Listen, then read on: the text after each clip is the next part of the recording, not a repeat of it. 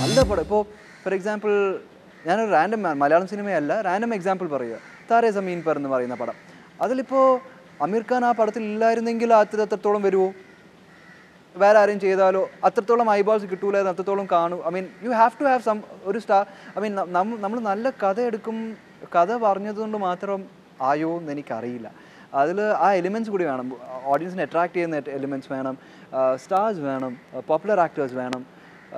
So that's what you have to strive for box ഓഫീസിൽ commercially successful movies and good content നല്ല ഓടുന്ന നല്ല പടങ്ങൾ. എനിക്ക് അങ്ങനെ ഒരു ജോണർ ഉണ്ടോ എന്ന് എനിക്കറിയില്ല. ഞാൻ പറഞ്ഞില്ലേ സിനിമയിൽ എന്റെ അടുത്ത് ഞാനിപ്പോൾ മനസ്സിലാക്കുന്നു ഓടിയ ഓടുന്ന തിയേറ്ററിൽ ഓടിയ പടങ്ങൾ കാശ് ഉണ്ടാക്കിയ പടങ്ങൾ ഉണ്ടാക്കാത്ത പടങ്ങൾ ജനൂസ് പോലത്തെ ആൾക്കാരൊക്കെ സ്ട്രൈവ് ചെയ്യുന്നത് നല്ല പടങ്ങൾ തിയേറ്ററിൽ ഓടുന്ന നല്ല പടങ്ങൾ. അങ്ങനെ ചെയ്യാൻ പറ്റുമോ സിനിമയിൽ നമുക്ക് അങ്ങനെ പ്ലാൻ ചെയ്യാൻ പറ്റുമെന്ന് എനിക്കറിയില്ല. കാരണം ഞാൻ ഡിസൈഡ് ചെയ്യുന്നത് എനി- എനിക്ക് നിങ്ങളുടെ കൂടെ വർക്ക് ചെയ്യണം. പക്ഷേ നിങ്ങൾക്കും താല്പര്യം കാണണം എന്റെ കൂടെ വർക്ക് ചെയ്യാൻ അല്ലേ? ഞാൻ ഒറ്റയ്ക്ക് വിചാരിച്ച മാത്രം നടക്കൂ ആവൂ ആയി ആവൂല. അതുകൊണ്ട് നമുക്ക് അങ്ങനെ പ്ലാൻ ചെയ്യാൻ പറ്റുമോ ഇപ്പോൾ അടുത്ത ഇപ്പോൾ നമ്മളിപ്പോൾ പ്രൊഫഷണലാണെങ്കിൽ ഒരു ജോലിയിലാണെങ്കിൽ എനിക്ക് ഇത്രത്തോളം എവറി മന്ത് ഇത്ര ഇത്ര സാലറി കിട്ടും. ഈ ഞാനിപ്പോൾ ഈ മാനേജറാണ് അടുത്തത് അസിസ്റ്റന്റ് മാനേജറാണ് മാനേജർ അങ്ങനെ ഒരു ഹൈറാക്കി ഉണ്ട്. സിനിമയിൽ അങ്ങനെ എപ്പോൾ എന്തെന്നൊന്നുമില്ല ഭാഗ്യവശാലും ലക്ക് കുറേയൊക്കെ ഹാർഡ് വർക്ക് എന്തൊക്കെ പറഞ്ഞാൽ ലക്ക് എന്തായാലും വേണം.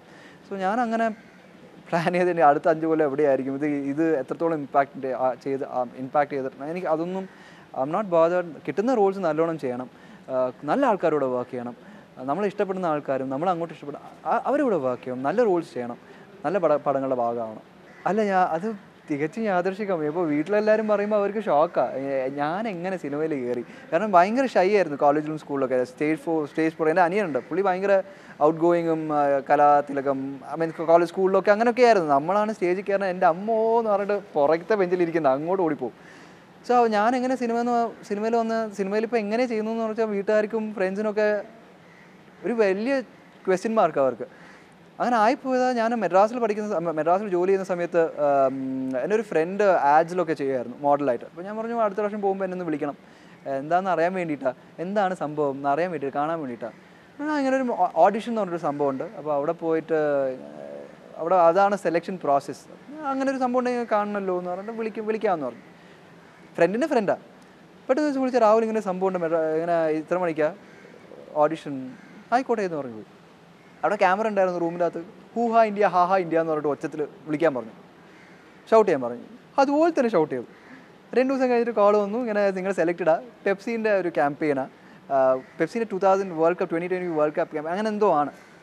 അപ്പോൾ അമ്പ ഭയങ്കര എക്സൈറ്റഡ് ഒക്കെ ആയി. അങ്ങോട്ടൊക്കെ പോയി. അവിടെ പോകുമ്പോൾ ഉണ്ട് മുഖത്ത് പെയിന്റ് അടിച്ച് ഒരു ഇരുപത് മൂന്ന് നാൽപ്പത് അമ്പത് ജൂനിയർ ആർട്ടിസ്റ്റിന്റെ കൂടെ ആർട്ടിസ്റ്റിന്റെ കൂടെ പുറകിൽ ഫീച്ചർ ഫേസർ ഓടാൻ ഫോർ ഫ്രണ്ടിലൊരു ഫീമെയിൽ മോഡൽ സോ അത് ചെയ്തു. അപ്പം അത് ചെയ്യുമ്പോഴത്തേക്കും നമുക്ക് അപ്പം അപ്പം ഓക്കെ ചെറുതായിട്ട് ഓക്കെ എന്താണെന്നൊരു ഐഡിയ കിട്ടി. മോഡൽ കോർഡിനേറ്റേഴ്സ് എന്ന് പറഞ്ഞ ആൾക്കാരുണ്ട്. പോർട്ട്ഫോളിയോ എന്ന് പറഞ്ഞാൽ നമ്മുടെ ഫോട്ടോ എടുക്കണം. അത് എല്ലാവർക്കും കൊടുക്കണം. നമ്മൾ മെല്ലെ ട്രൈ ഓക്കെ നമുക്കിത് ട്രൈ ചെയ്ത് നോക്കാം. എന്താണെന്ന് അറിയില്ല. നമുക്കൊരു ക്യൂരിയോസിറ്റി എന്താണ് ചെയ്ത് നോക്കാം? അങ്ങനെ ചെയ്ത് അങ്ങനെ അങ്ങനെ മോഡൽ മോഡൽ കോൺഫിഡൻസിനെ കണ്ടു. അത് അന്ന് മദ്രാസിൽ ഇപ്പോഴുമുള്ള ആൾക്കാർ ബിജു റുക്കു എന്ന് പറഞ്ഞിട്ട് മലയാളീസാണ് ബിജു ആന്റി റുക്കു ആന്റി താരാന്ന് മലയാളം അപ്പോൾ മലയാളീസ് ആയതുകൊണ്ട് ഞാനും മലയാളി ആയതുകൊണ്ട് എനിക്ക് രണ്ട് മൂന്ന് ആജങ്ങൾ തന്നു. ഒന്നായി രണ്ടായി പിന്നെ നാഷണൽ ക്യാമ്പയിൻസ് ആയി. അങ്ങനെ നാഷണൽ ക്യാമ്പയിൻ പറഞ്ഞാൽ ഏതൊരെണ്ണം ചെയ്തുകൊണ്ടിരിക്കും മദ്രാസിൽ ഒരു പ്രൊഡക്ഷൻ മാനേജർ തമിഴ് ഫിലിമിൽ ഒരു സെക്കൻഡ് ഇയർ ആയിട്ട് റോളിൽ ചെയ്യാൻ ചെയ്യുന്നു അങ്ങനെ അമ്പ ചെയ്യാലോ? ഇങ്ങോട്ടൊന്ന് ചോദിച്ചല്ലോ നോക്കുമ്പോൾ അതിൽ അതേ നേരം അതേ ഇടം എന്ന് പറഞ്ഞൊരു പടം ജയ് എന്ന് പറഞ്ഞിട്ട് സൂപ്പർ സുബ്രഹ്മണ്യപുരം എന്ന് പറയുന്ന പടത്തിൽ ഹീറോ ആയിരുന്നു. അതിൽ ഹീറോ പിന്നെ സെക്കൻഡ് ഹീറോ ആ. ചെയ്തു. അതിന്റെ ക്യാമറമാൻ ഇങ്ങനെ പുള്ളി ഒരു പടം ഡയറക്റ്റ് ചെയ്യുന്നുണ്ട്. അപ്പോൾ ഞാൻ നിങ്ങളെ ഹീറോ ചെയ്യാൻ പറ്റും. ആ ചെയ്യാലോ. ചെയ്തു. അപ്പോഴത്തേക്കും നാട്ടിൽ നിന്ന് ഒരു കോൾ വന്നു ഐ തിങ്ക് ലൂക്ക്മൻ ഒരു കോർഡിനേറ്റർ പുള്ളി വിളിച്ച് ഇങ്ങനെ ഒരു ബാങ്കോക്കിൽ ഷൂട്ട് ചെയ്യുന്ന ഒരു പടമുണ്ട്. രണ്ട് ഹീറോസ് അതിൽ. നിങ്ങളെ ഓഡീഷൻ ഉണ്ട് വരാൻ പറ്റും ഞാൻ വരാം. ഒന്ന് കണ്ടു പ്രമോദ് പപ്പൻ സർ അത് ചെയ്തു. പിന്നെ വാടാമലയായി അങ്ങനെ അങ്ങനെ അങ്ങനെ അങ്ങനെ പോ ഞാൻ ഐ മീൻ അത് ആ അങ്ങനെ പോ ഇത് അത് അവിടെ നിന്ന് ഇതുവരെ എത്തി. അത് ഇനി നാളെ എന്താണെന്ന് ചോദിച്ചാൽ എനിക്കറിയില്ല.